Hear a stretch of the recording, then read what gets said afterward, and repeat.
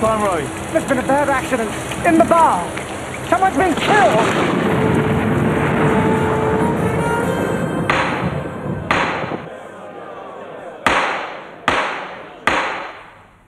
Look at me, please, Mr. Kirby. On the night of the 15th, there was a program of dance music by Mr. Henry Hall. On the third program, there was a talk on Egyptology. Do I take it, Mr. Kirby, you are an Egyptologist? Henry Hall. Yeah, that's right. Um, we had a bottle of stout, barrel of meat, and uh, some sandwiches and that, you know, and, uh, and then we listened to Henry Hall. Mr. Kirby, you amaze me. For the first time in my life, I find myself addressing a man who, despite all the rules of logic and natural law, experiences no difficulty at all in placing himself in three different locations at the same time. Hey? While you were at home with Miss Hoskins, listening to Mr. Hall, you were also, as Miss Hoskins has already testified, at the pictures with her, watching Oliver Twist, the young man who asked for more. You were also, as the court has already heard from three other independent witnesses, deep in conversation with Mr. Slater at the Ajax Cafe. A remarkable achievement on your part, for which you must take full credit. Do you want any more, Mr. Kirby?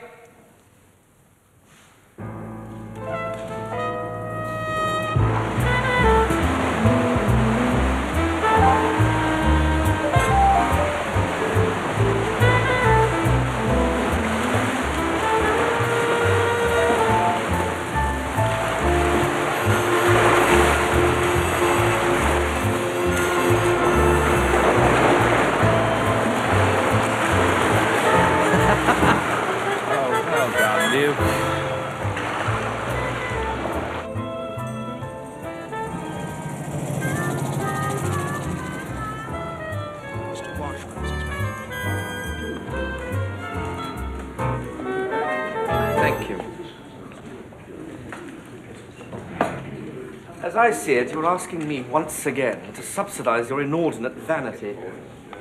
Rory! I was just talking about our victory. Well done. Thank you. This is my cousin Sebastian Parrish, whom you may have seen on the stage. Ah, how do you do? Hello. Are You going to risk it? I think I might. Thank you. I suppose I can't persuade you to change your mind. No, you can't. Oh, but Luke. What I suggest to you is that you take Mr. McCorber's advice and learn the difference between solvency and insolvency. Rory! Hello. Splendid, thank you.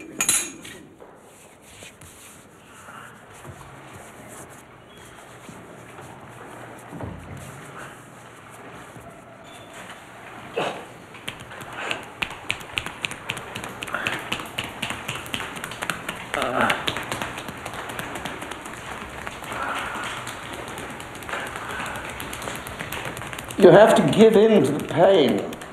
Enjoy it. Crack of dawn, we're off to Panotto. Cornwall, it's in Tashel. Yeah. I can't get away till Thursday. Discovered it during our Oxford days. We've been returning ever since. Seb here, Seb's friend Norman, paints pretty pictures, and myself. Mr. Cubitt is a talented professional artist. Yes, yes, of course. I trust you all have a wonderful time.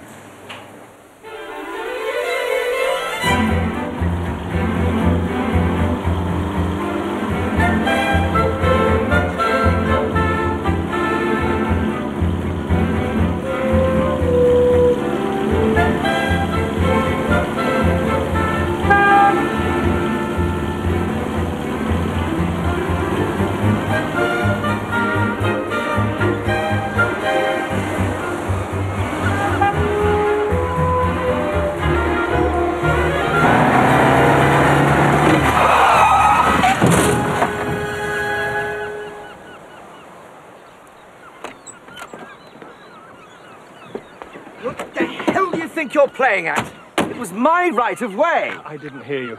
What? I didn't hear you coming. You should have sounded your horn. I'm sorry. But I don't think there's any harm done. No, I suppose not. If you wouldn't mind backing up, see if we can free them.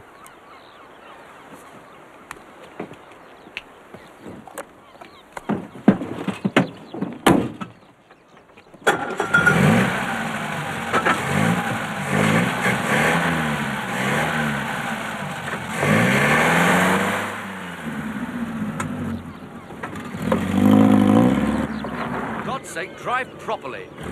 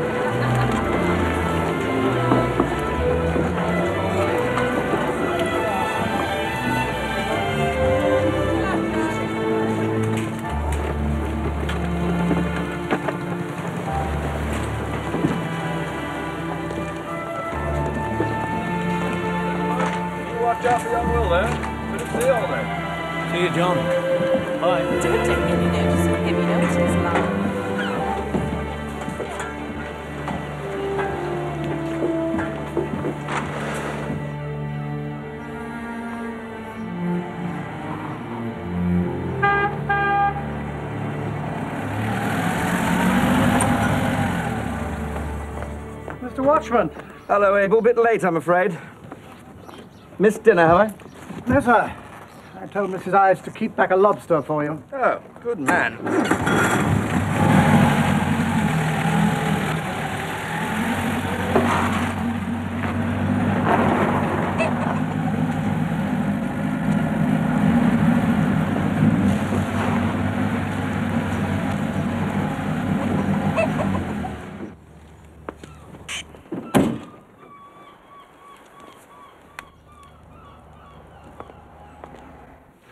Come on, Will.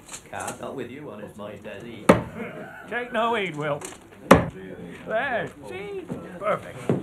That's our game, I think. So it's your round, eh? Best of three, Alec, remember? Don't count your money fifty. Right.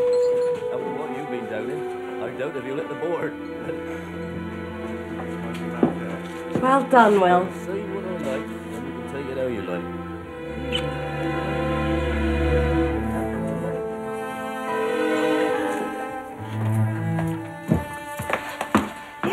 Evening, Watchman. Welcome back. What's all this then? Mother's meeting? See that? I can see an old boot needs mending. That's another of your pesky rats, that is. Keep your voice down, George. Don't need the whole world to hear. One of them has near damn it got my ankle. What are you going to do about it, eh? It's all in hand. In hand. In hand, I said, George. As you will find out if you'll just mind your own interference. What's the one about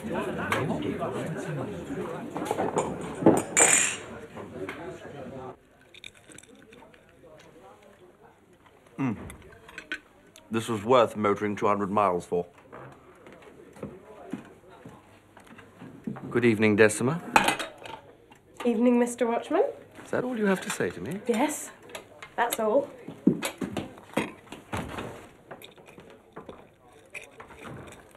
Pretty, isn't she? Very. Not even prettier than last summer? I do hope you're not going to be a bore, Sebastian. You know, if a girl could do it, she'd make quite a presentable Juliet. Oh, would she? To your Romeo? Well, I don't see you playing opposite her. Mercutio, maybe. Anyway, Luke, this summer she only has eyes for her very handsome young fisherman, which is all that her father wants. So everybody's happy, eh? I think Decima is old enough to decide for herself.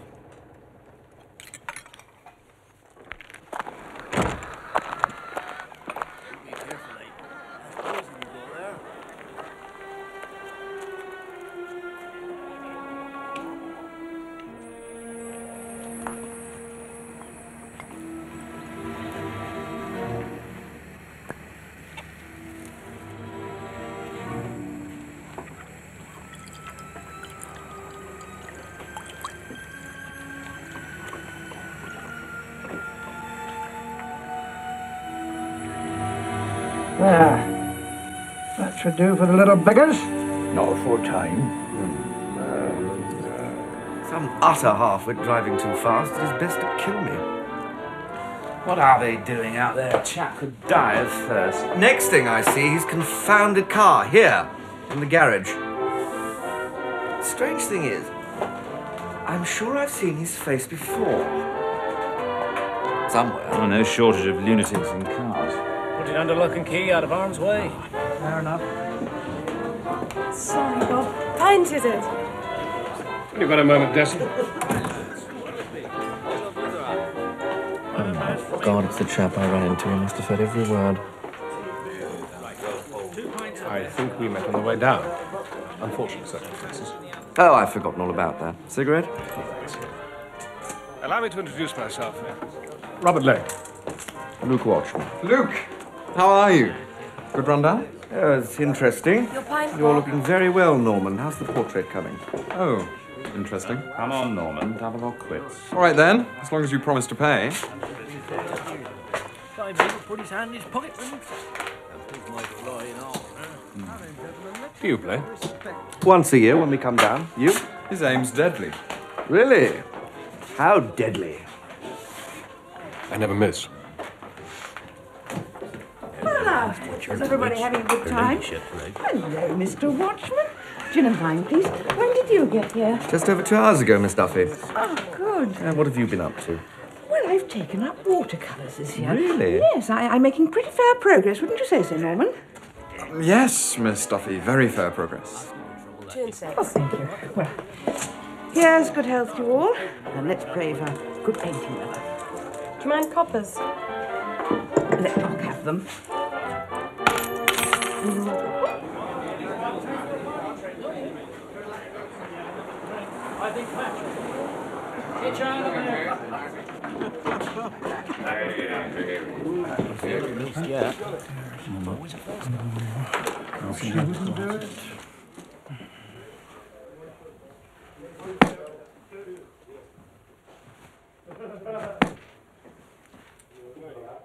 that. There you are, you see.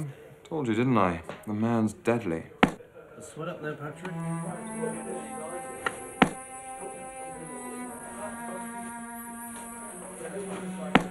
Oh, well done, Patrick.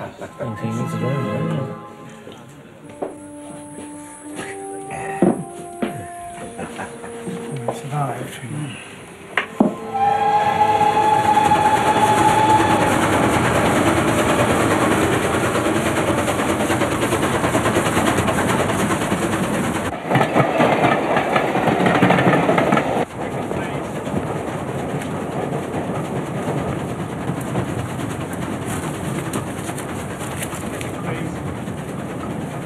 Now hear the first witness, Dr. Shaw.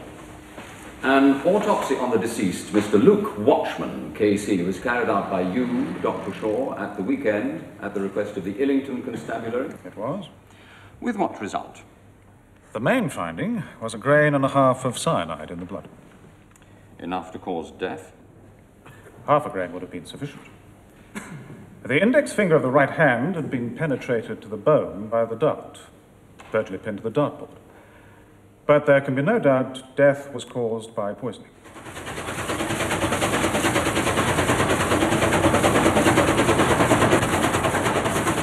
Visitors to St Nicholas's Church at Looe will find in its tower a scold's cage for the incarceration of nagging wives. but that's worth looking at. You're not married, Brer. Anyway, it's 30 miles from Penotta. Sorry. Scheele's acid mixed with prussic acid. For the extermination of rats on Mr. Pomeroy's premises. Mr. Bartram, did you hand over the substance direct to the purchaser? No, sir. Uh, a Mr. Parrish came into the shop on Thursday afternoon, acting on behalf of Mr. Pomeroy. He said the rat bane I supplied previously was ineffective. Would I please ginger it up a bit?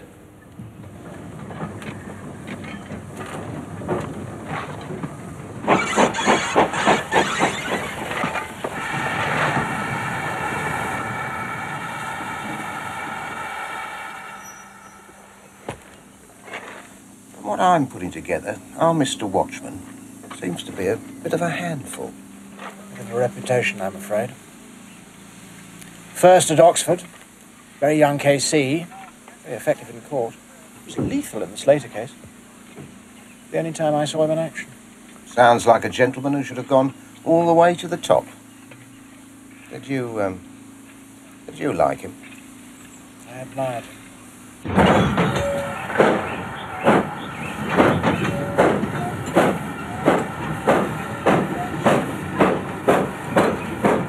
Superintendent Harper, would you tell the court the results of certain forensic tests, namely to the pieces of a broken glass from which the deceased drank brandy, and to a bottle of iodine which was applied to his pierced finger? Neither the broken brandy glass nor the bottle of iodine contained any traces of cyanide nor any other poisonous substance, sir.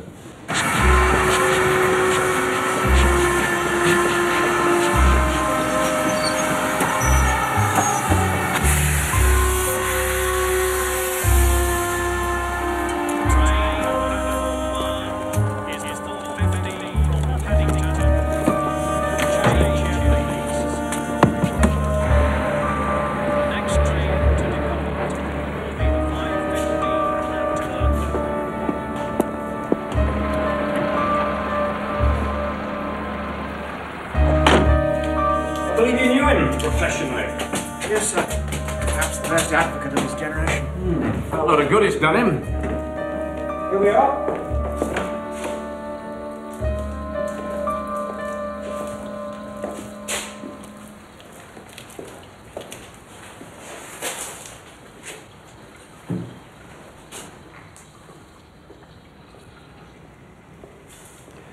I suppose the coroner brought in an open verdict. Death by misadventure, Inspector. What else could it be?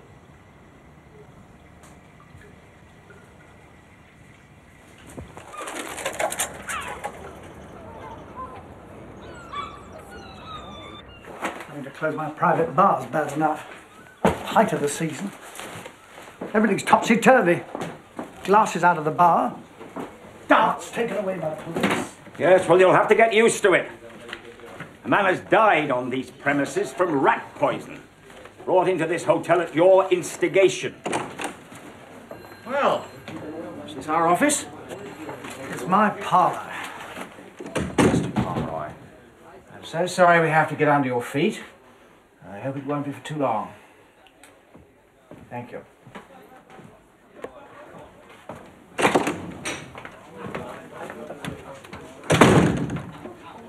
Taking their cases up? Uh, yes, two and four, was that right? That's what I said. All right, no need to snap. Who's snapping?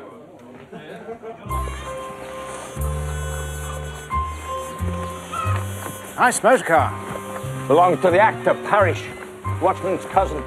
Oh, I bet that cost him a bob or two. If indeed it's paid for.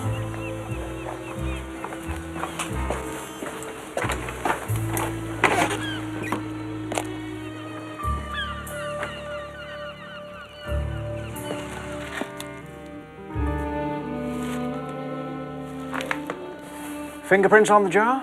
Only Pomeroy's. How much of the poison was left? It was full. Oh, we've got the stuff in a bottle now, back at the station with the other things. You've had it analysed? Not yet, no. Well, I didn't think it was necessary. We know what it was. Do we? Well, With respect, sir, I think perhaps you should have your lab boys look at it right away.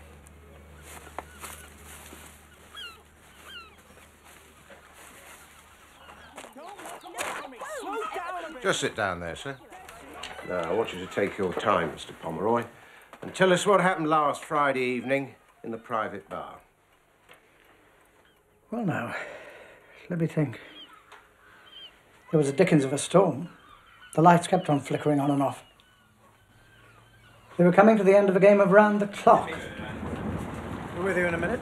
Next thing, they're all at it, drinking brandy. Uh, 17? If I'd had any inkling of what was going to happen, I'd have picked up that blessed bottle and hurled it into the sea. But you didn't, did you, Mr. Pomeroy? No, I did not. Yes.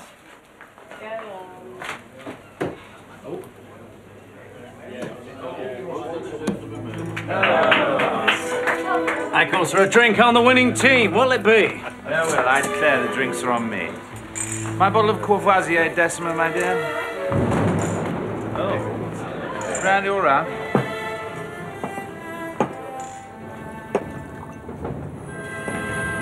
time we had a new road in this place, if you ask me. Blooming government talking about utopia for the masses. Equality and all and you can't even get into the village on a wet day without driving through a flood. Come on, George. Things aren't that bad.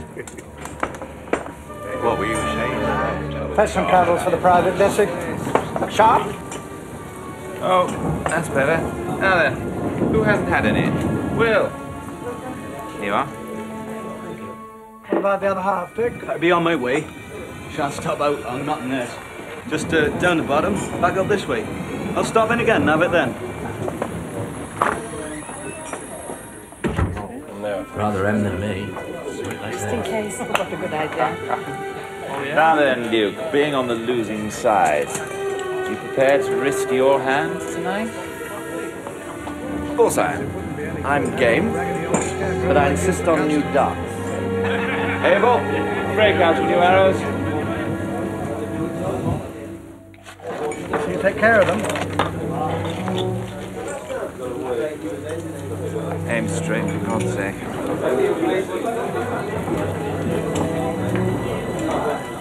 Yellow Knight, battery.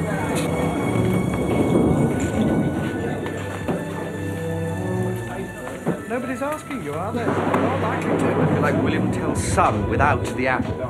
Do be careful. Far away.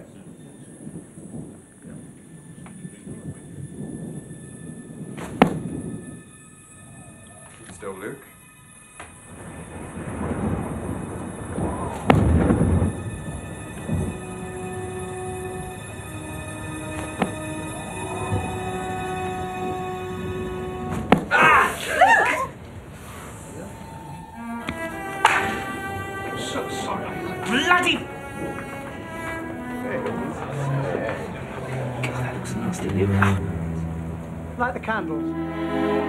Please. Just get me something. Here. What was he saying? Lights go out, everybody panics. Can't be that bad. It's only his finger. If you don't want to help, keep About some light in here for the proletariat. Just hang on, George, will you? We've had an accident. Can I help? I used to do bandaging with the St. John's. Let's see, is there any iodine? Give it a good cleaning. Will, brandy.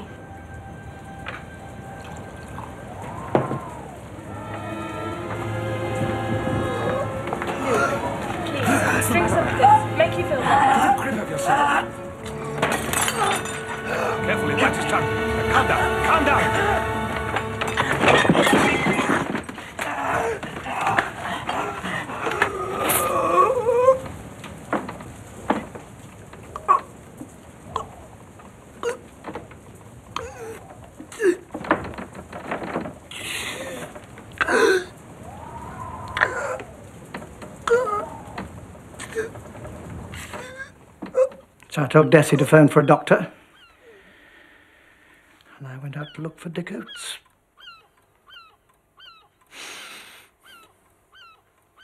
Thank you, Mr. Pomeroy. Sorry to have taken up so much of your time. Oh, you're welcome. Well, if there's nothing else. Nothing else.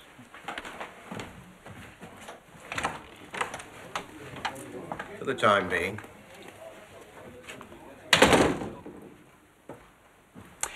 So, time to look under a few stones. See what's crawling underneath. I thought it was time for lunch.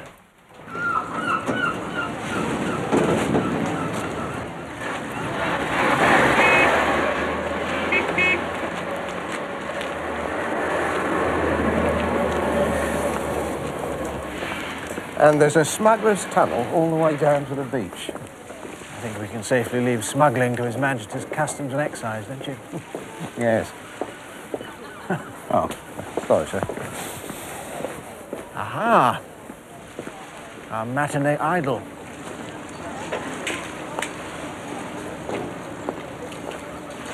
Mr. Parrish. Chief Inspector. I was very shocked by the death of your cousin. We got to know each other a little, as colleagues.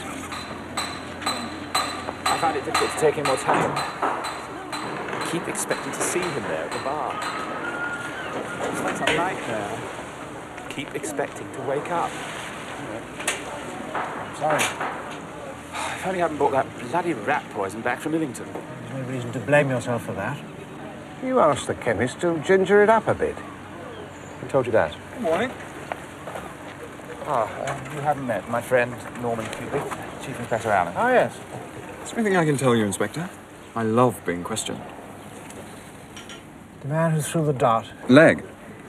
Did Watchman know, or had he met him before? I don't think so. Sir? No, I'm sure they hadn't. Look, if there's nothing more, we ought to go. Get on with my portrait. While the tide's right. Oh, yes, of course.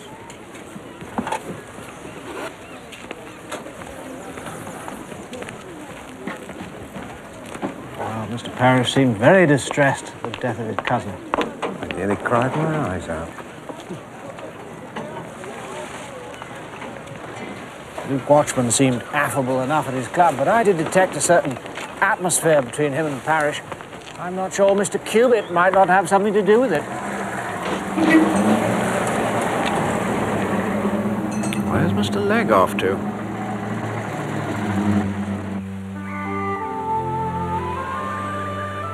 And thou, my friend, since unavailing woe bursts from my heart and mingles with the strain, had the sword laid thee with the mighty low, pride might forbid e'en friendship to complain. You're looking pleased with yourself, Seb? Because I am. I mean, putting poor old Luke to one side for the moment, you could say things are looking distinctly brighter. While I was fighting for king and country, Winning your military cross. Luke was absolutely coining it. So I'm looking forward, Norman, to being a man of means. Keep still. What's wrong? Nothing, as long as you stop fidgeting. I thought we might start with a little holiday. I mean, a proper holiday abroad. India, maybe. Then, well, if Luke's money is all I take it to be, I might go into management. I always wanted to do the Vortex. You could do the sets and costumes. Fine.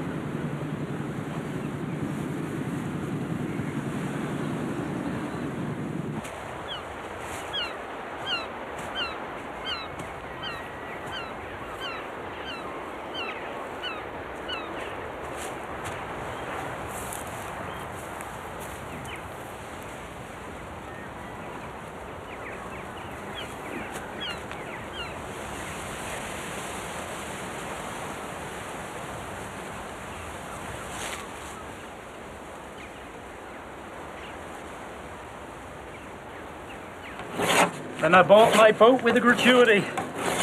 Probably paid over the odds for it. Bit different from flying hurricanes, eh? It's a lot safer. Most of the time.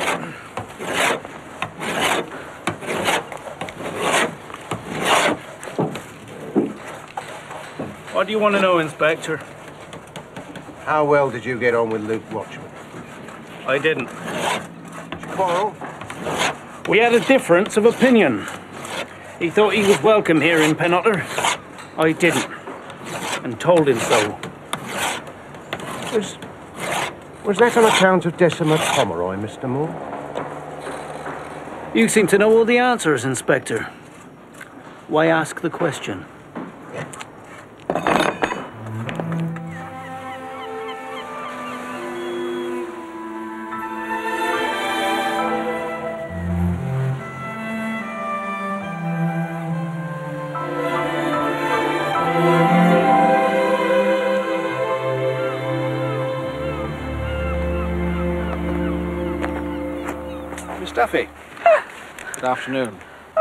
So sorry.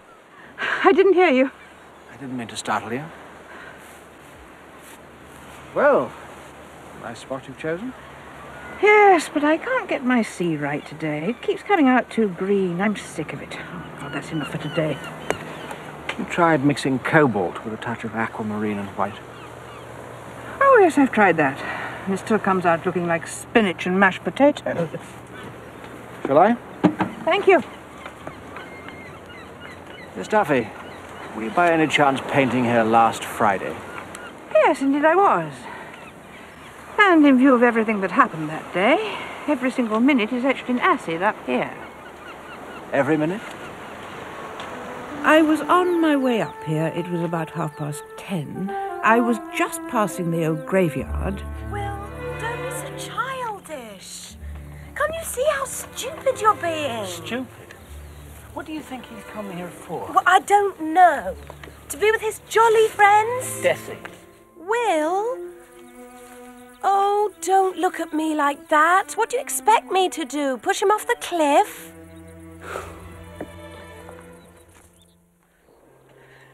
Good morning. Morning.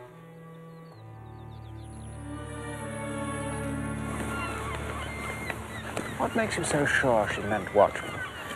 Well, everybody in Penotter knows she had some sort of fling with him last year. A fling? Well, anyhow, she seems to be spending a lot of time with young Moore, much to old Abel's relief. He'd rather a local man than some sophisticated London barrister. Lord, yes. Luke had some sort of power over her. Power?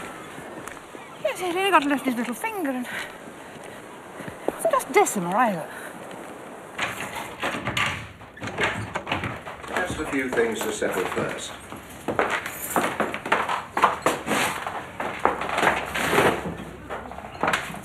No, I've been in since. Fox, what are you looking for? Anything that may have been overlooked. Right, Mr. Pomeroy. As soon as I've done in here, you'll get your keys back.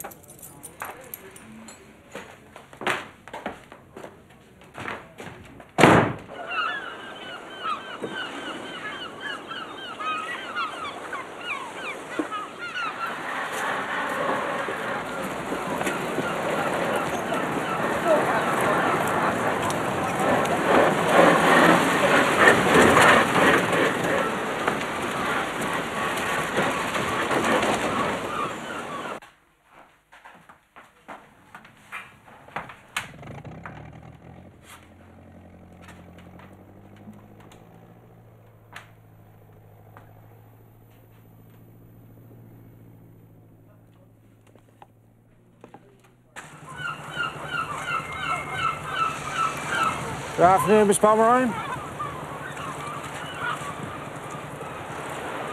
You're from Scotland Yard, aren't you? Yes, I am. I imagine this must be quite a change for you after the hurly-burly of Oxford. It's different. Inspector, I know why you're here. Why don't you just ask your questions? Very well.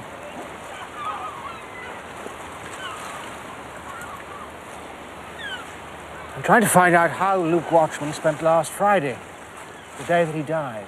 I see. Where he went, whom he met. I know, for example, that you spent the morning with Will Moore. And that you quarrelled. Who says so? But you'd also met Luke Watchman that morning. Was he the reason that you quarrelled? I'd much rather you admitted it yourself, Miss Pomeroy. Although I know it to be true. Oh? How? A French cigarette packet, a few dog ends with lipstick, and this.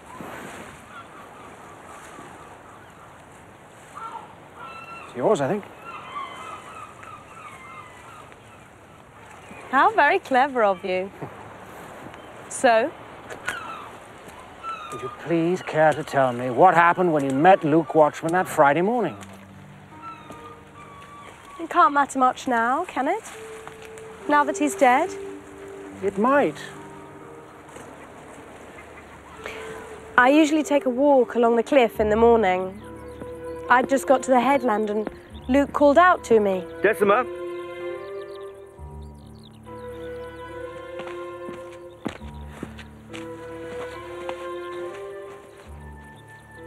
Want to talk to you. What about? Sit down, have a cigarette, and I'll tell you.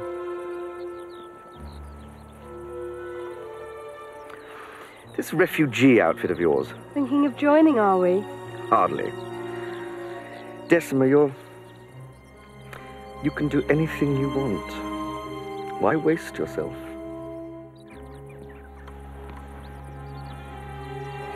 You're not in love with me, Luke. You just want me. I adore you, Desi, and you know it.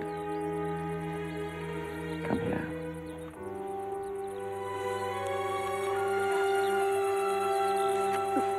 Luke, it's over. Is it?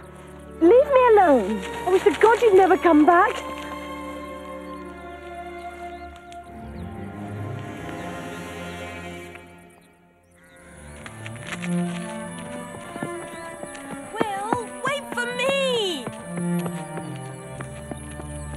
I chased after Will. But of course, he'd seen me and Luke, and there was a terrible row. But you've now made up? Yes, I think so. Well, I hope so. Inspector bullying you, Decima?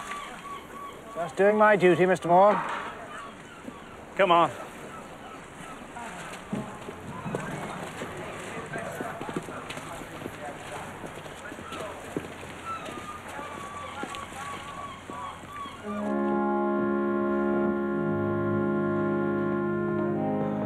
Loved this place. He was happy here. And it's only fitting he should remain here, Mr. Parrish. Wednesday at noon, then. Thank you, Vicar. You've been a great comfort.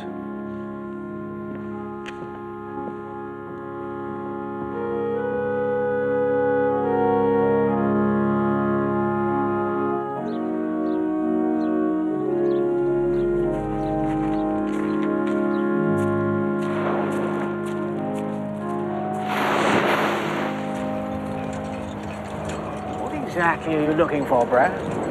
Well, there should be a massive rock over there in the shape of a woman, more or less. There isn't. Very disappointing for you. Do you think we could get back to the private bar? Oh, yes, of course. Ah, the wood box. By the fireplace? Yeah, stuffed with newspapers, stinking of brandy. Brandy? Interesting. Yes, that's what I thought. Anything else? Oh, yes. According to the legend, that headland is where Uther Pendragon, the father of King Arthur, met Igraine, the beautiful wife of the Duke of Cornwall. Just imagine it, can't you, sir? So flashed and fell the brand Excalibur. But ere he dipped the surface, rose an arm, clothed in white samite, mystic, wonderful, and caught him by the hilt, and brandished him three times, and drew him under the mere. Thought a mere was a lake, sir. Nothing gets past you, does it, Brer? Come on.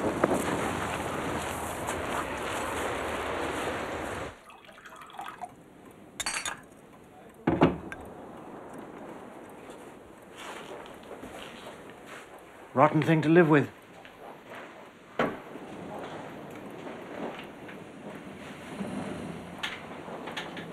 Seeing man in full health suddenly die when you've thrown the dart. A damn silly trick. I should have tried it. I can imagine what they've been saying to you. I can feel their suspicion down my neck like a draft. Whose suspicion, Mr. Legg? Abel Pomeroy, for one. See, Chief Inspector, I'm a pacifist. And since his daughter Decima sympathizes, he blames me. He thinks I turned her against him. Perhaps. But I think we should concentrate on the death of Luke Watchman. Must have moved his hand. He must have done. I had nothing against the man personally. I hardly even knew him. If I were you, Chief Inspector, I would be making inquiries as who stood to gain by his death.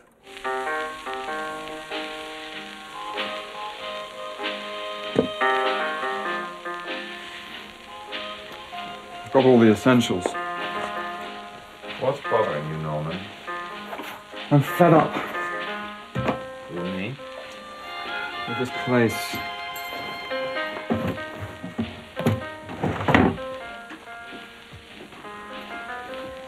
I can finish this at home.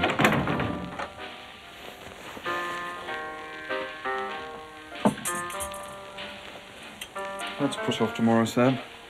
I don't see that meeting with the Chief Inspector's approval. Oh, him. Don't you like him? Oh, I think he's rather nice. Nice! Him and his little Sir Echo.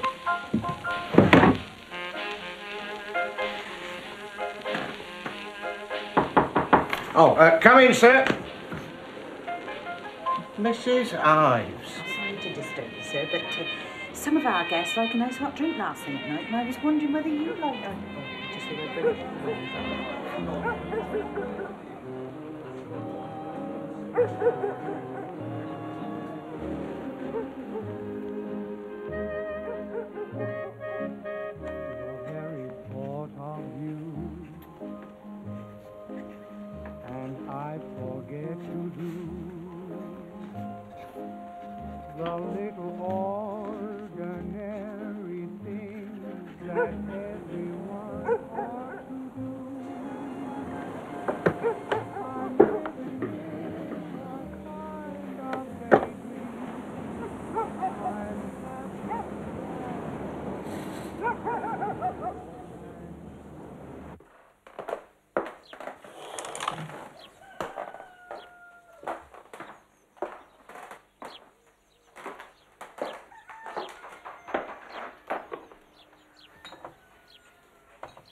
Pomeroy? I'm sorry, I didn't mean to startle you. The Chief Inspector would like to go over what happened Do we last have to Friday over it night. all again? I'm afraid we must. When the dart struck Luke Watchman, whereabouts were you? About here, I think. Why did you give him a brandy? To revive him. He'd gone so pale, I just picked up a glass and. Where from? the bar counter. You mind?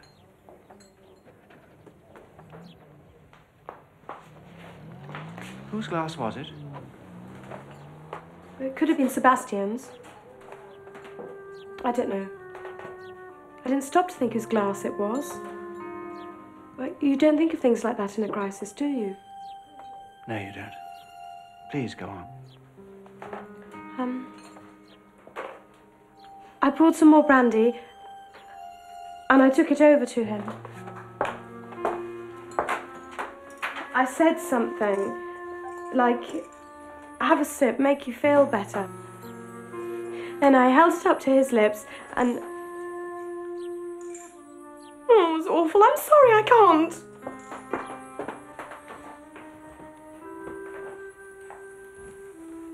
Just forget about us, miss. Try to remember what happened.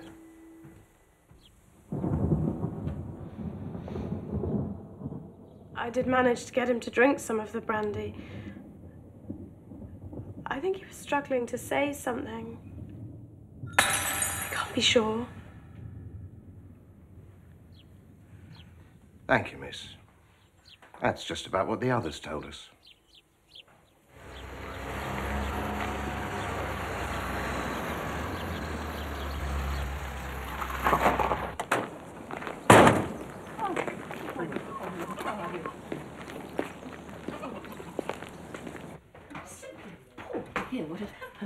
Close the private bar. Good gracious. When did this happen? Of course I'm entitled to know. Now, listen, when something as devastating as this happens, there must be a reason. Yes, sir. Well, I want to know what it is. We need another talk with young Will.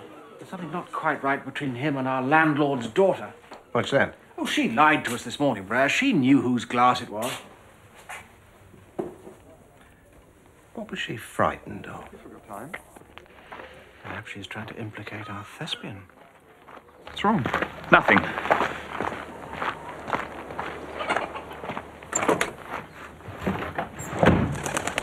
What's the matter?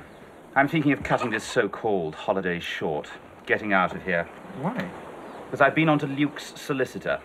And? And I've just heard how cousin Luke liked to have his little joke from beyond the grave at my expense.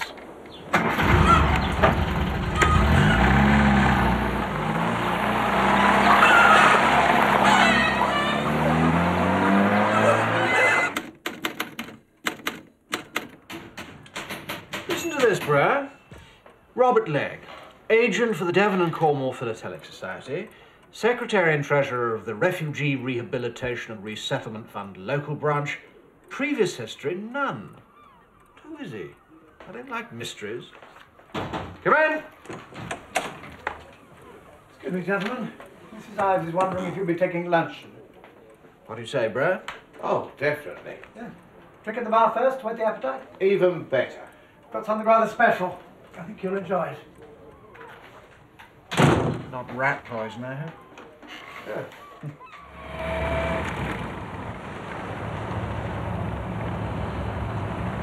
As my next of kin, He's left you all his money? No. Oh, that's what he promised. And no one knew better than Luke how much I need it. He hasn't cut you out. No. The joke, Norman, is that you and I inherit. Me? Jointly. I hope you find it amusing. Why me? Oh, I can think of several reasons. You needn't look so astonished. I'm looking astonished because I am astonished. Really? I know that as recently as last Christmas, I was his sole heir. So what could possibly have taken place, dear boy, between then and now, eh? Search me.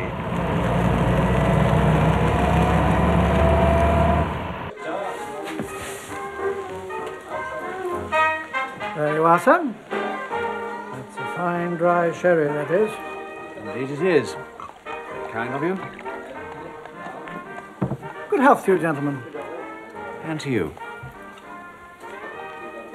Hmm. Nectar. Oh, very nice. Shall I do them or will you? do them if you like. That's no trouble. Just tell me who. Yes, ma'am. Get a decanter for the gentleman's sherry. Excuse me, Bob. Mr. Legg can spare you.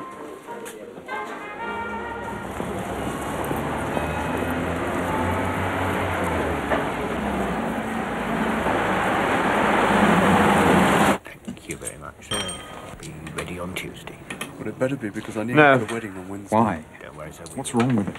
Everything. Thank you very much. Makes you look like a spiv. I take it you have got a tie somewhere in this benighted establishment that a gentleman can wear. I think it's rather nice. It isn't. Luke would have had a seizure. I don't think Luke would care tuppence whether we wear black or not. He may not. I do. And I knew him rather better than you.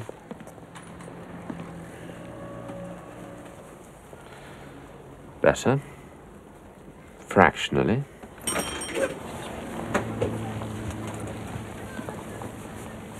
I shan't rest, dear boy, until we get to the bottom of this whole sordid business. Meantime, we conduct ourselves here with as much grace and dignity as we can muster. Black armbands as well, I suppose.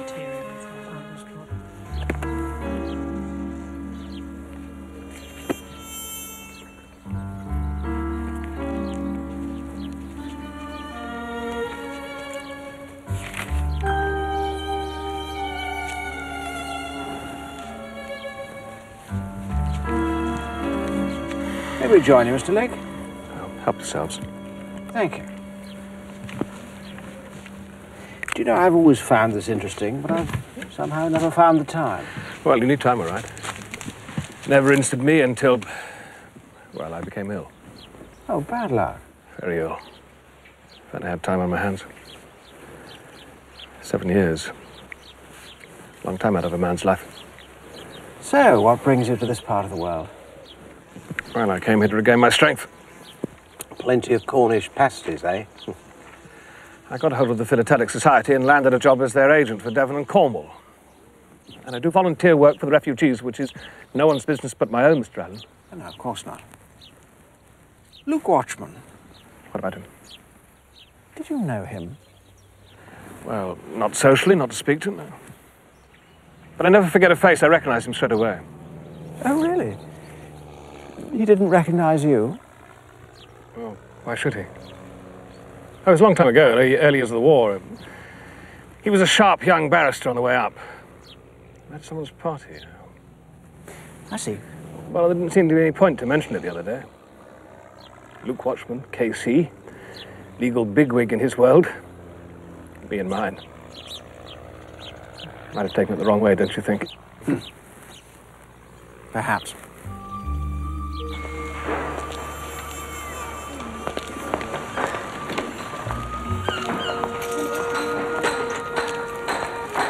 Pomeroy. Good afternoon. What is it? I was wondering if you could help me. Again.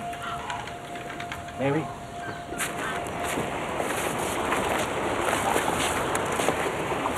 Miss Pomeroy, I've got a man murdered. And I'm completely in the dark. Well, I don't know what I can do. No? I was wondering if you might tell me Tell you what? whatever it is that's troubling you. Wouldn't it be better to tell me now?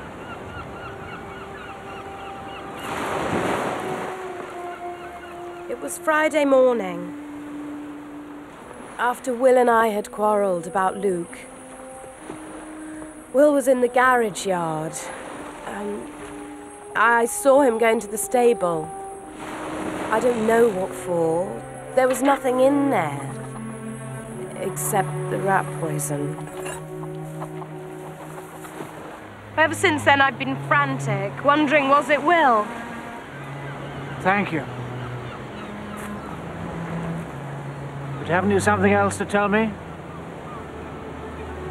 The brandy you gave Luke Watchman. You've been wanting me to think that the glass you poured it into might have been just anybody's. But that isn't the case, is it?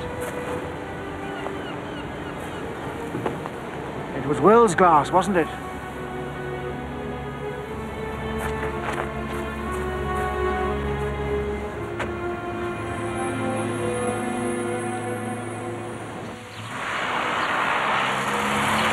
Pensive brow? No, sir.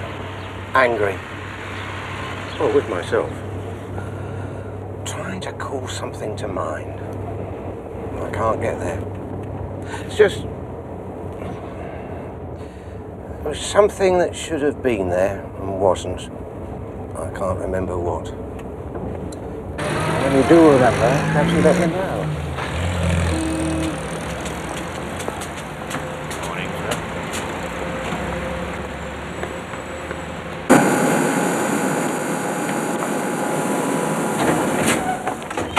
It's a bit embarrassing, Chief Inspector.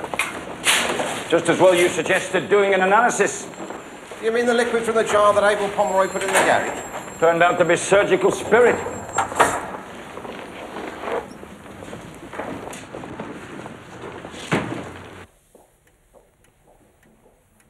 Look on the bright side, sir. At least we've confirmed one thing. Now we know where the poison came from. Our murderer took the pot out of the rat hole. Emptied out the acid and put the surgical spirit in instead. He or she was counting on it being left, untouched and untested.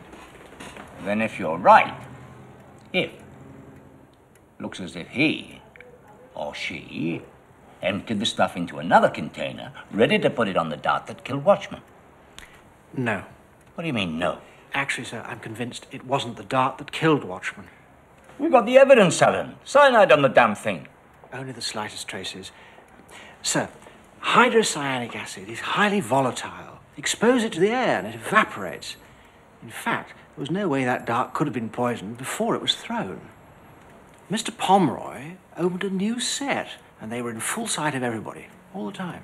But the blasted lights were going on and off. Oh, not between the time that Abel opened the new box of darts and a dart was thrown that hit Watchman.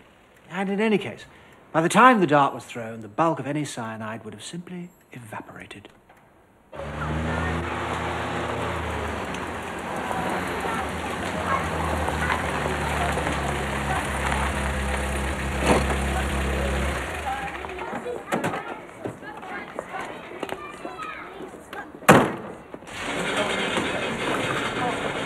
After the candles were knocked over and the whole place was in darkness, somebody, The murderer.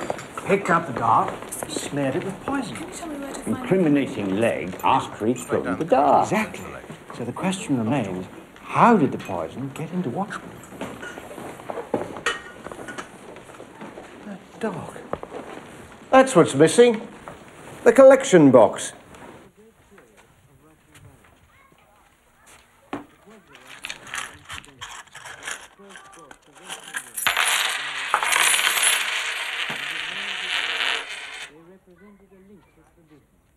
indispensable in an art that is handed down from generation to generation.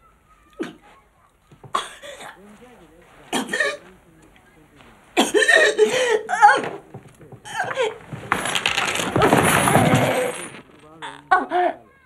I did not yet how intimate this was to become. She's over the worst now, Inspector. Oh, good. Thank you.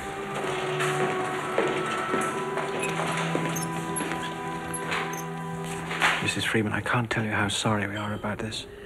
It was bad luck, really. No, I'm afraid not. Hmm? Mrs. Freeman, did anybody else know that you'd be picking up the RSPCA box today? As a matter of fact, I was early going for it Early? because of the holidays. I usually collect them at the end of the holidays. You must have been surprised to find a bottle. No, no. People put in all sorts of things, you know buttons and uh, bottle tops and bus tickets. oh dear. Uh, So when I saw this little bottle roll out like a silly duffer, I put it up to my nose to smell it like you do, and I suddenly felt very sick and dizzy, and um, and I don't, I don't remember much else. I don't know what to say, sir. A lethal bottle of Hardy. Just sitting there, in the dog. Right under our noses, and we. Poor woman. I know. Um, I feel ashamed of myself. Oh, nonsense, Brer. But you do see the implication. Before it got into the dog, our killer had put it into Pomeroy's first aid box. Where anybody could have used it. Exactly. Before Legg's tripped with the darts. But clearly got no conscience at all. But he couldn't have known there was going to be an accident with the darts. No, he couldn't, but I think he managed to engineer one by making sure that everybody was drinking Parrish's brandy. Whereas he Or she.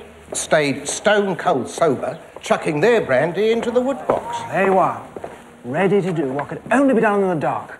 Switch the iodine bottles, put the innocent one where the lethal one was, and throw that one into the dog. Waiting for Mrs. Freeman to pick up her little jock. Hmm. Her dog. Thank you.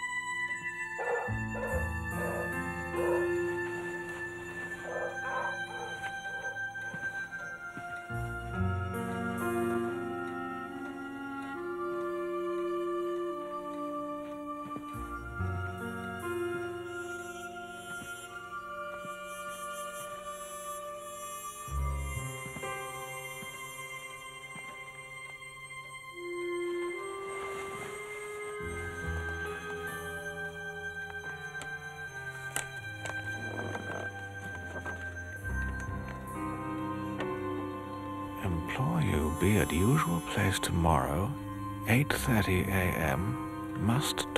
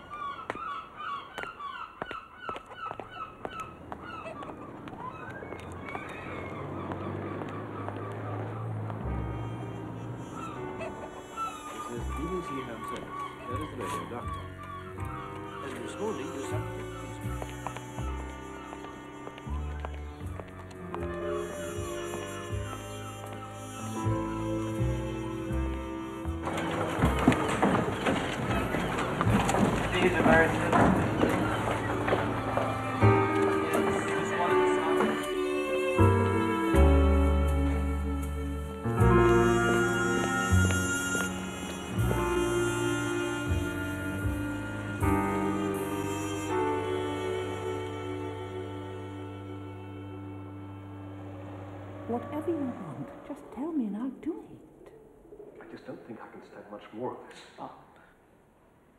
If you've been through what I've been through, then you, you might begin to understand. Of course I understand. They've been walking around asking questions and talking to everyone. But when it comes down to it, who are they really interested in? It's me, isn't it? Just don't draw any attention to yourself and you'll be all right. Please have to do that. Duty, we all have to put up with that. It's tolerable. Well, self-pity won't get you anywhere. I see you too. No. You know I'll do my best for you, but I... I can't. I... I won't...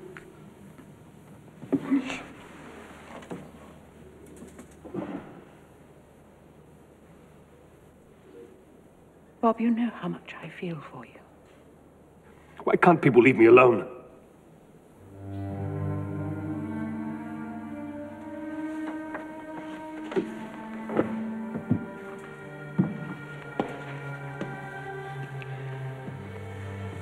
Well, I suggest that you come back to the inn, and put on a black tie, come to the funeral, and show some respect for the dead.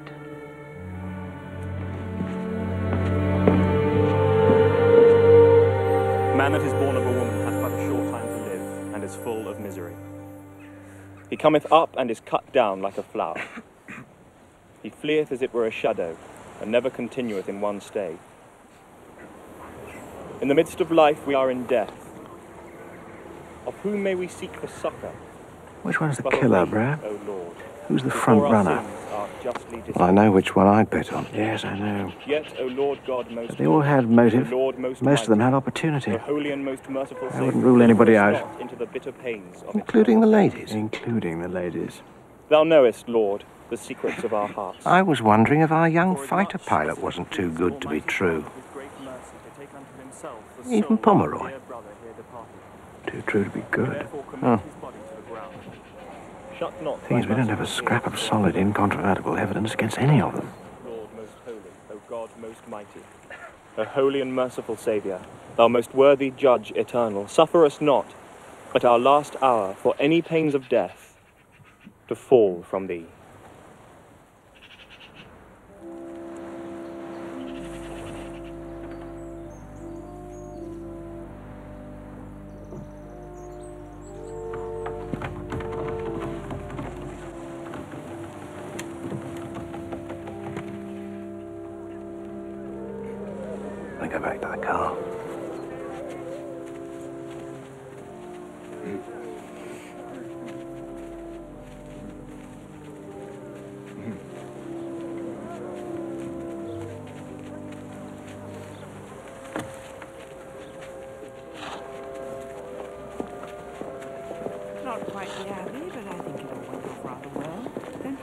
Was currying favour with the aristocracy.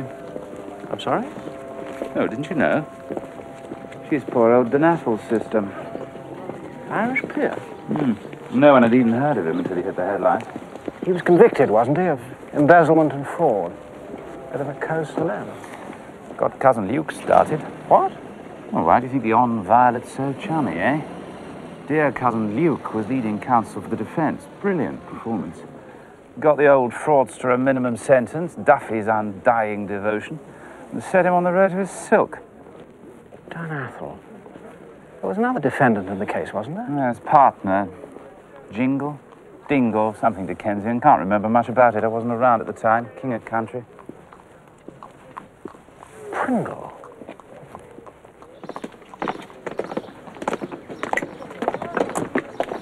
Oh, it's only to be expected. Villages are like that. Close community. They're getting restless. Trouble? Who knows? What time does your train get into Paddington? Six. Be at the yard before seven and back here tomorrow. Hmm. Colonel Brammington, the chief constable, has asked me to take you both to his house for dinner tomorrow night. That's extremely kind of him. Inspector Fox and I will be delighted to join him. He's keen to know how it's going. Then I hope we won't disappoint him, sir. sir, what do we have to wear? That tie, I suppose. Is that a problem?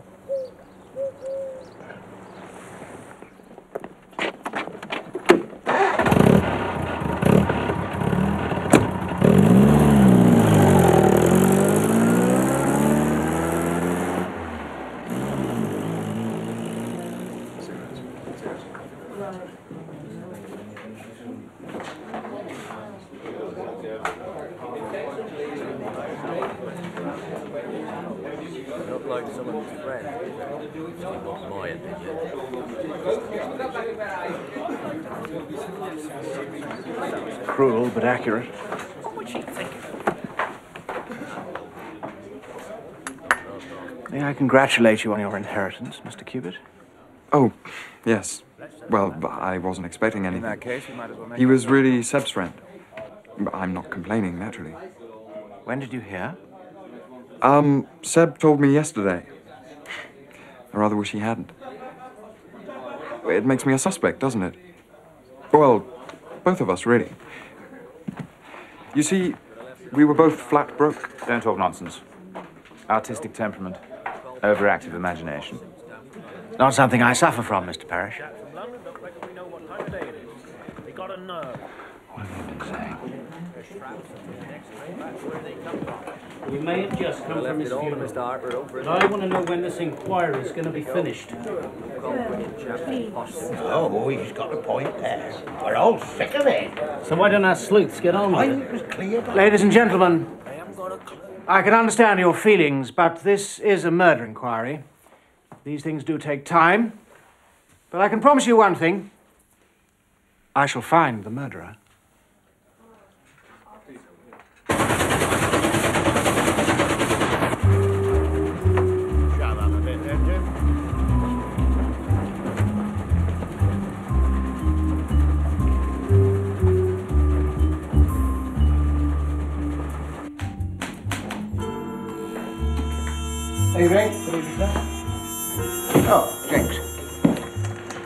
I'm uh, sorry to bring you in, but Bailey's gone sick of us. And I need this dusted for Dad's sharpish. Photos? Usual drill, okay? No thanks.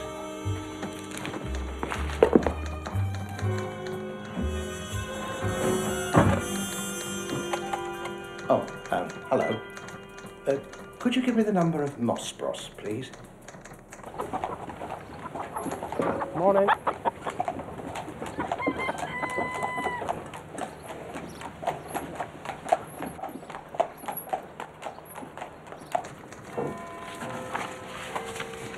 You see that? Central pocket loop. Tented arch, there. And there, a plain whorl. This one, left index of the tonic bottle. Middle right, particularly good ulnar loop there. From the tumbler, an exact match. Yes, so who? Old Bailey, March 1941. Does that answer your question? It does indeed.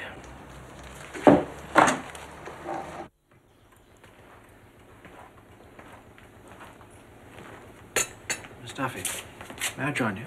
Of course.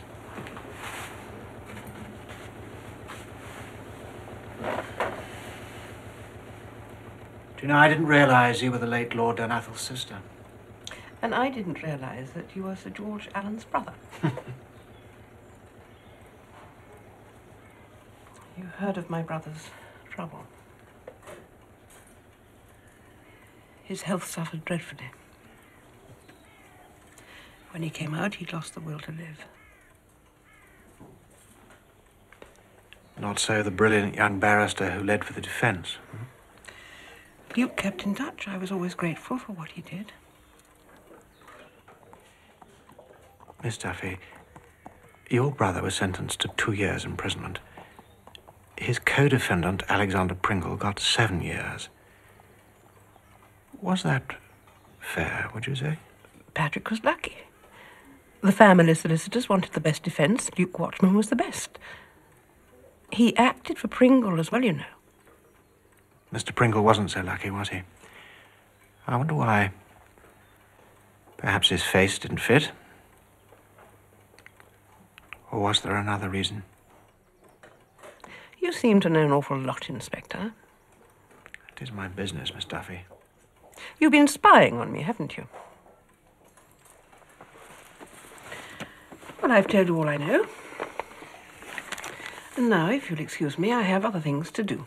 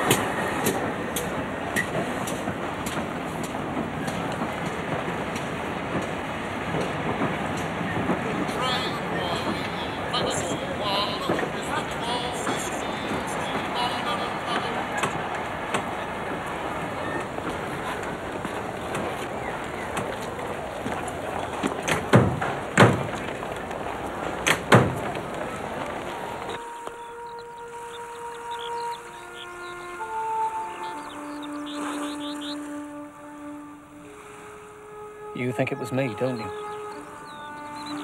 What? You think I poisoned him? No. Look, if we can't be honest with each other.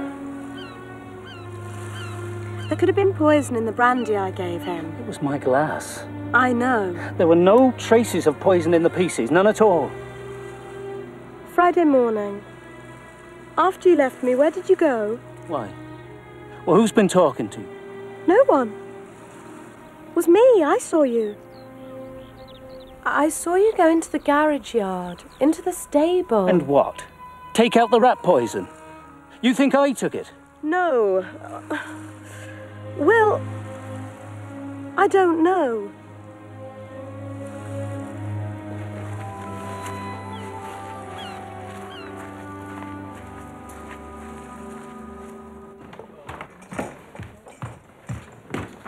Mrs. Ives? Oh, Inspector Fox and I won't be dining in tonight. Oh. I'm sorry, we've been summoned by the Chief Constable. Oh, Colonel Brammington. Uh, Chief Inspector? Can you spare me a few minutes? How did you know that Bob Legg and Alex Pringle were the same man? It wasn't difficult, Miss Duffy. No, I suppose not. Now it's out, I really don't know whether I'm glad or sorry. And you knew about his pre-war history. Yes. He joined the British Union of Fascists in 1936. He was a Nazi in all but name. It's a long way from being a pacifist. Now perhaps you can understand his behaviour. He felt his past closing in on him. Forgive me for asking, but your feelings for Mr. Legg. Completely unreciprocated, Inspector.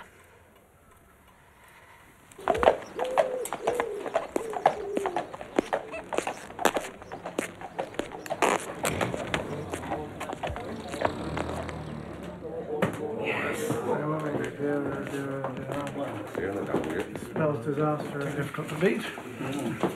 Yeah. Well, let's see. Yeah. Tomorrow? Okay. Thanks, Bob. Hello, Miss Duffy. Jesse, two beers. Is it finished? Oh, yes, it's finished. I think we can safely say it's over and done with. May I see it? I think it's wonderful. Nice of you to say so. But I'm glad it's finished. I've had enough of it. Deathly, what happened to that sherry?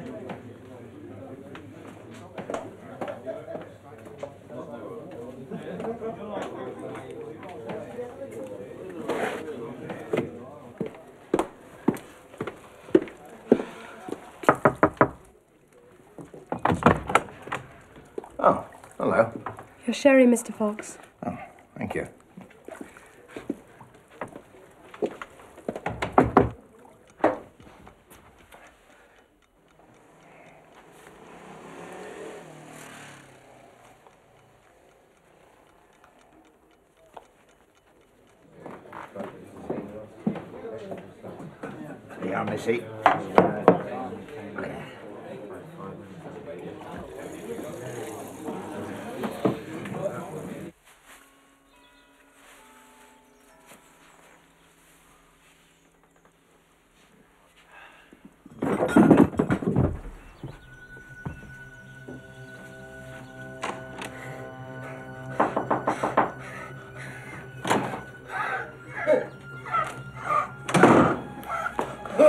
All right. All right. All right. Come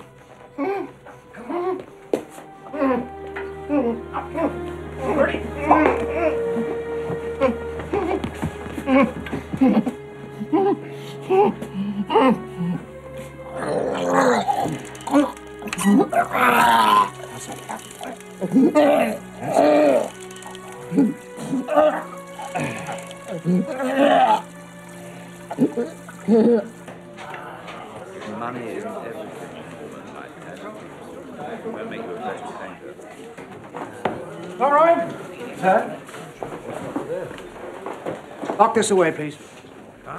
Constable Oates. No one is to leave the premises. Is that clearly understood? Sir? Close all the doors. Somebody has tried to kill Inspector Fox. I can't believe it. Here, there's a smell of treachery about the place.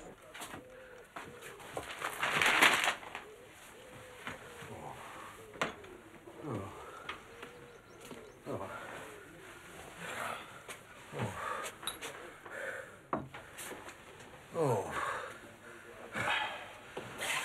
Oh. No. No, no. No arguments, Brer. Just till the doctor gets here. I don't want to see the doctor. I should have taken your advice. Huh? What? Gone home a couple of days ago. Chief Inspector or no Chief Inspector. Um, where, where is Inspector Fox? Um, he's upstairs, the room at the end of the landing. Thank you.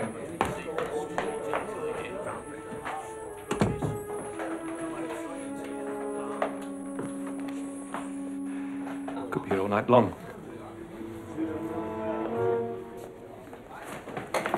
In that case, we might as well make ourselves comfortable. Decima, my dear, I wonder if your father has anything worthy of the occasion tucked away behind the bar. Hardly a time to start making fools of ourselves, Sebastian.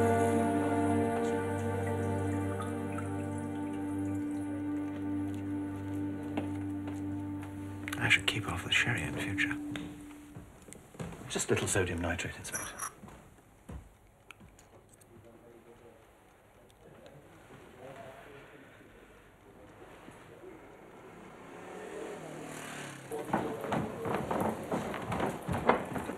It's beef tea, is that all right, sir? Yes, yes, if you'll take it. It's nothing better.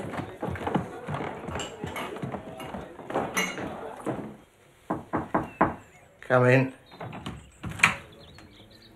To disturb you, Mr. Foxer, but I thought a little beef tea might be in order in the circumstances. Now then, here we go. Oh, Mr. Fox, you didn't get that lying in bed. No. I think I got it falling over. Hmm. Well, I think we'd better have somebody to clean that up. Now, you just hang on a minute.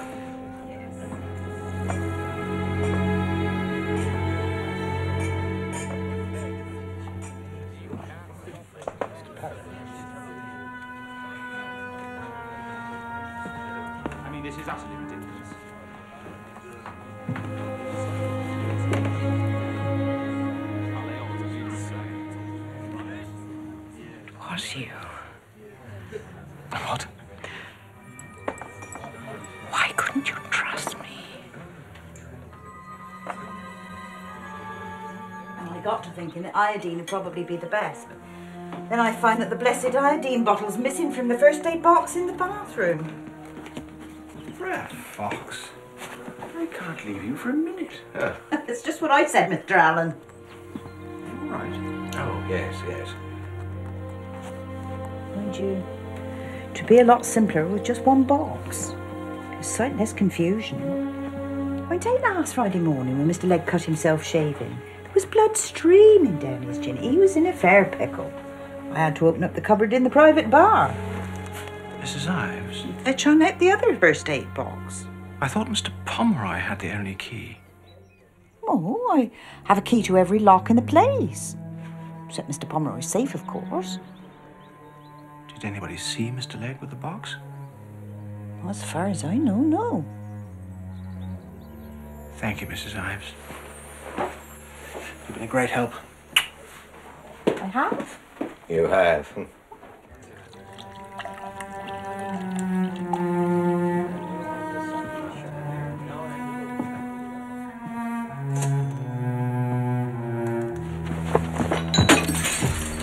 on, just wait. No, don't give us a hand. She's all right. There's a doctor, Sophie. You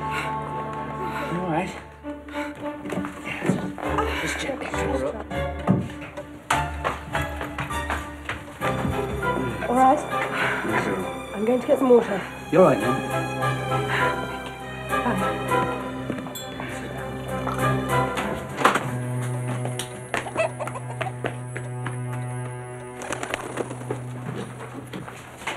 What is it, Oates? It's Legg, sir. What about it? Mr. Legg, he's gone and run for it.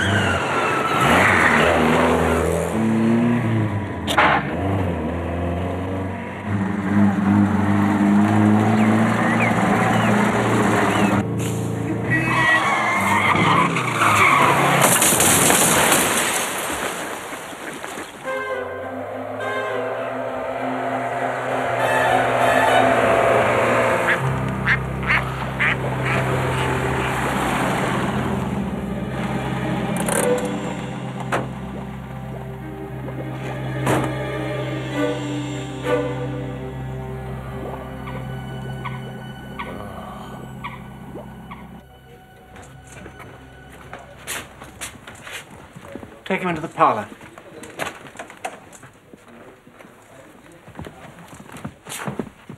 Sit him down. This time, keep him there. Yes, sir. Well, that's it then. You still have to prove it, sir. Now, anything you'd like me to do? You could search his room, top to bottom. What are we looking for? I don't know, but somehow he's managed to poison a sherry decanter without anybody noticing.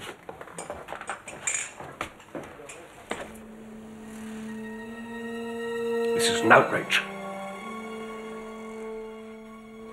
You do know that, don't you? Oh, yes, sir. A terrible outrage.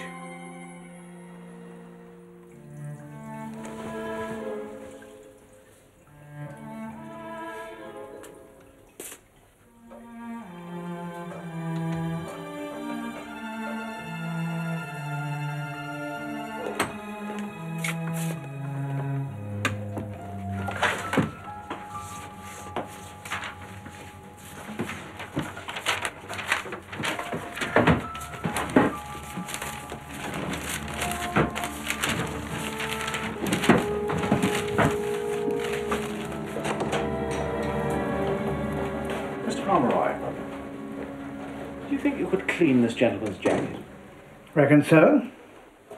Perhaps you'd better empty the pockets, Mr. Legg.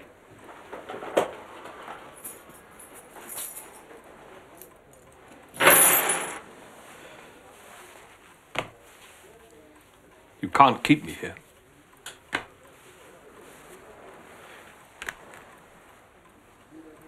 Is that all?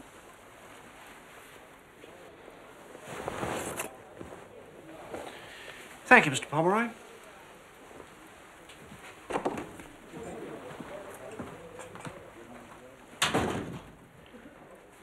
Now, Mr. Legg.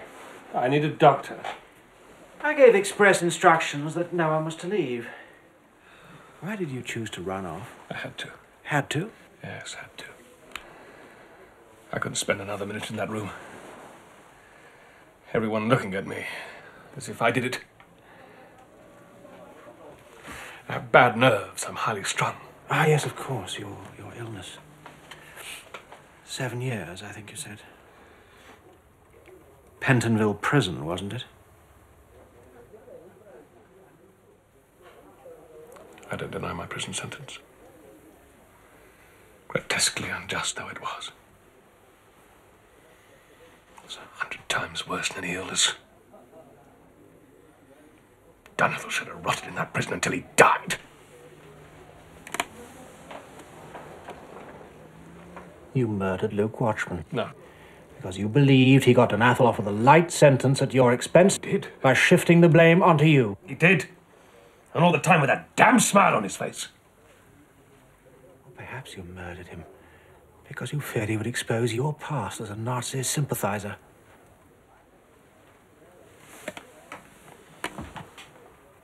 You're improvising. You haven't got a case. Oh, but I have, Mr. Legg.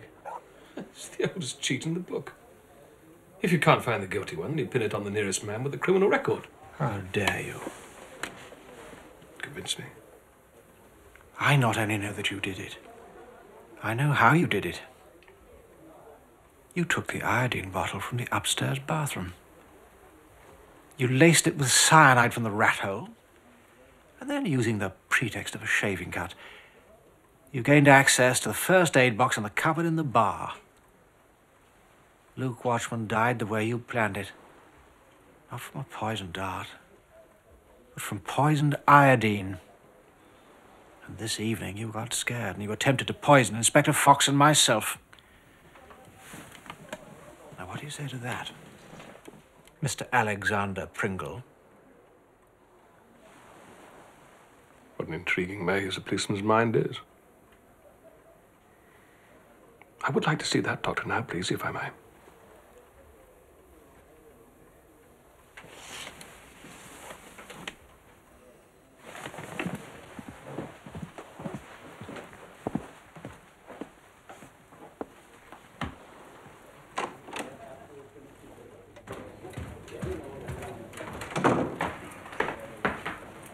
Any luck, Superintendent? Nothing. I'm afraid he's got the better of us. Best I could do, Mr. Alleyn. Thank you, Mr. Pomeroy. There must be some way we can hold him. Give us more time. I don't see how, sir. He's guilty of murder and attempted murder, and I'm going to have to let him walk out of there.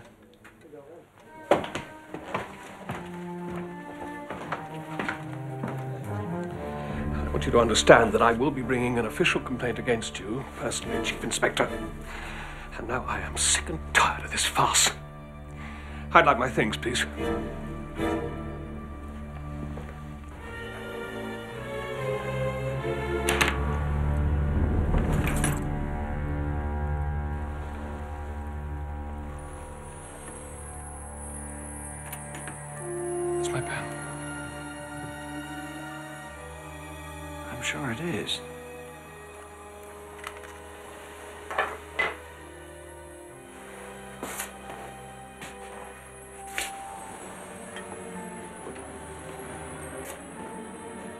Think you'll find, Superintendent, that this is hydrocyanic acid. And it was dropped into a very fine sherry.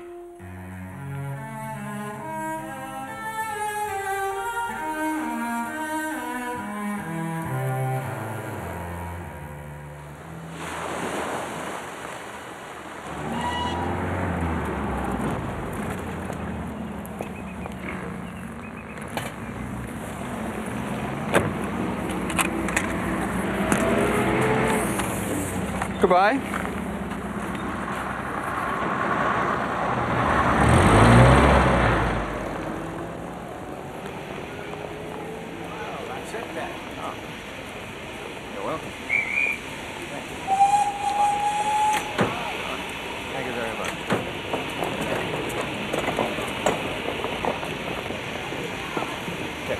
you. Here, a guidebook for you. Present.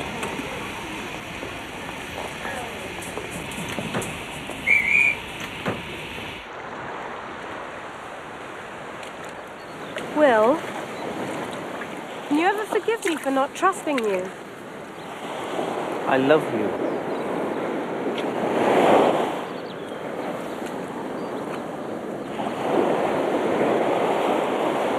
It's not a bad life here, you know.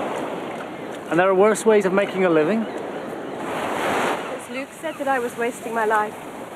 I should better myself. you know, it's an awful thing to say. But now he's dead, I feel quite free. He'd never have married you anyway. You'd never have been good enough for him. Pig!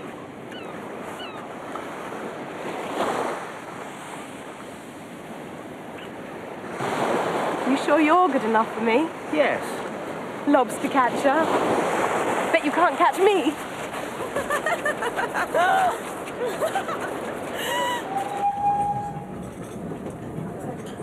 So what's in store for Mr. Parrish now? Resting? Haven't the faintest. Could say Legg did Sebastian a bit of good, indirectly. And me. Do you know Legg must have had Watchman in his sights for a very long time. Poor old Luke. Legg was an opportunist, an improviser. Just talking about Legg. Do you know he must have waited and waited until he saw his chance? Doesn't bear thinking about. Now, I must get back to my own compartment.